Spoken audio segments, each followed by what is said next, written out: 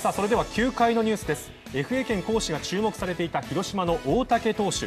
今日4度目の残留交渉を行いついに決断しました。まあ今日話をしまして FA 権を行使することを伝えました。2年連続2桁勝利を挙げるなど広島初のクライマックスシリーズ進出に貢献した大竹。巨人楽天も興味を示す実力派右腕は FA 残留も視野に入れての権利行使となりました。FA 権が取れて、えー